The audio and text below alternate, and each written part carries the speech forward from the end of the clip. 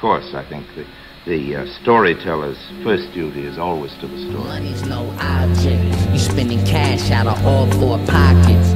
Your girl rocking lockets. Your goons pop the rockets. Apply this dick for a lick. You are not it. Hustlers and. I asked the Be in fast like ultimate. But it- I just do all that, man. And the hustlers say, Talk to you soon. To the gallows. I know. I won't.